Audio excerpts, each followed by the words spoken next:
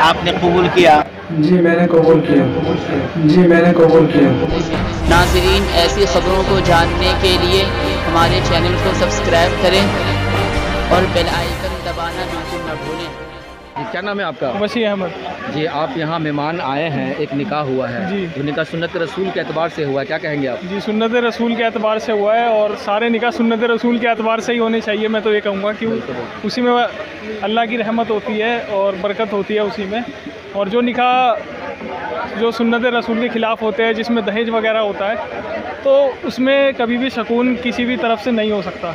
आप अपनी नौजवान नस्ल है जो जी। जो यंग ब्लड है उसको क्या मैसेज देना चाहेंगे इस शादी के ताल्लुक? उनको मैं यही यही नसीहत देना चाहूँगा कि जो भी करना है अपने दम पे करना चाहिए। और किसी से एक्सपेक्टेशन ये नहीं रखनी चाहिए कि वो मुझे कार देगा या वो इतने उससे कैश लेने हैं या कुछ लेना है। क्योंकि इससे आपका जो मोटिवेशन है वो काम करने का वो भी ख़त्म हो जाता है। आप सही से काम नहीं कर पाएँगे अगर आप किसी दूसरे पर डिपेंडेंट रहेंगे कि मुझे ये उससे डिमांड करनी है वो उससे पैसे लेने हैं। तो आपका खुद का मोटिवेशन सेल्फ डाउन हो जाता है। तो ये सब माइंड में नहीं रखना चाहिए। और अपना अपने दम पे जो भी है वो करना चाहिए। मैं तो ये कहूँगा। ये देखा आपने कि आज की नौ, नौजवान नस्ल जो ये चाहती है कि